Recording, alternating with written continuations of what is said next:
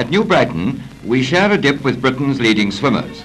A strong French team provided the opposition, and they learn whether the judges have made them champions when they come up.